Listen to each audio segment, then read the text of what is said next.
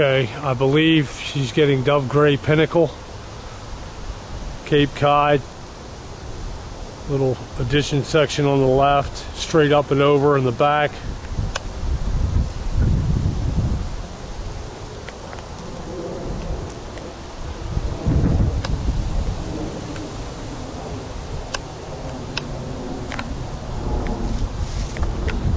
There is gutter guard in the roof. We'll have to put that back once we get the roof off and run.